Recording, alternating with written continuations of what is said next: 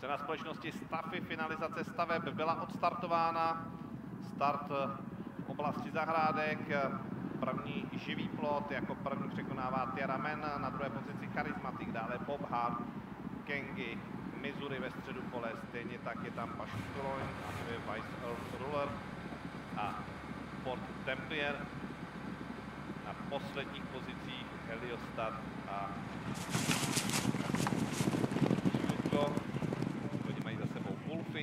Je živý plot skok.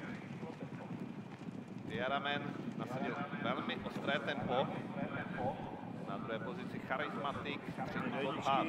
Dobrý, mal. Následuje Kenky, a Business Sibola, Missouri, Fort Templier, Vice Ruler a Heliostat na posledních třech pozicích.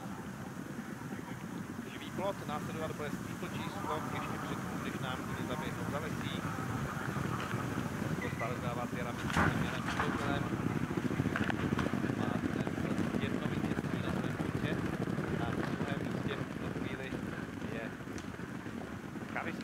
který je v barvách stejné stáje, nicméně z jiné tréninkové centrály.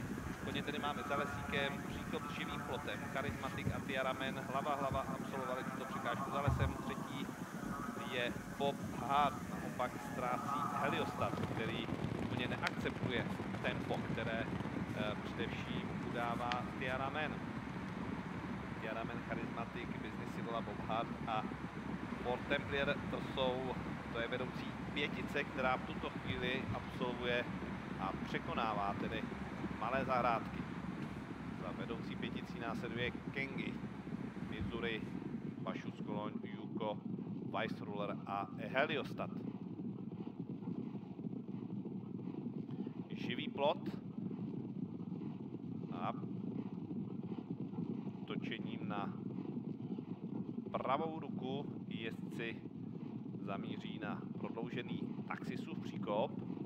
Tiara Man, Charismatic, Bob Hart, Business Sivola, Fort Templier, Missouri, Kengi, Pašus Ruler a s velkou ztrátou Heliostat, který pravděpodobně bude zadržen a dnešní sedmý dostih nedokončí. Prodloužený taxisův příkop a blíží se nám pomalu závěr dnešního sedmého dostihu, který je opět na té ve steeplechase sprinterské trati.